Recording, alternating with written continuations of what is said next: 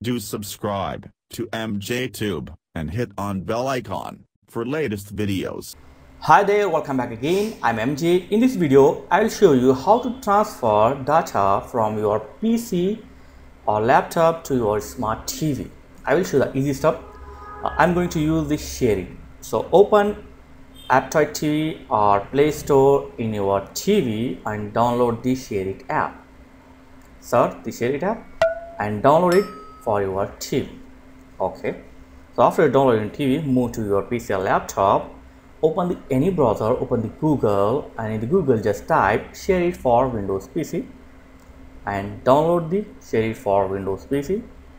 After this, simply make a setup. Setup is very uh, easy, just click next, next and finish. So that's it. First we have installed the ShareIt in our uh, TV and after that we have to install ShareIt in our Windows PC. After install the ShareIt, open the ShareIt in your PC and then open the ShareIt in your TV. Don't upgrade the ShareIt in your TV. Okay, just press the back button.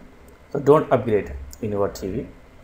After this, go to your profile, click on the profile picture and then click on connect PC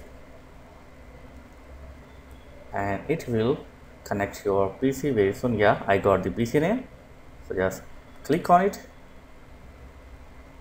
and on your PC just accept this. Okay. And boom.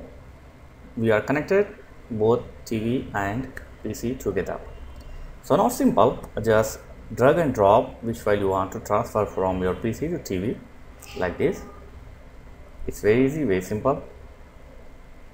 Okay let me adjust yeah.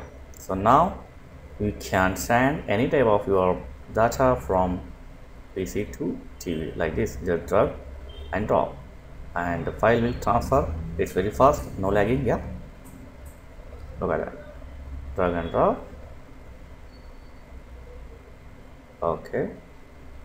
So you can uh, send any type of file. You can share any type of file.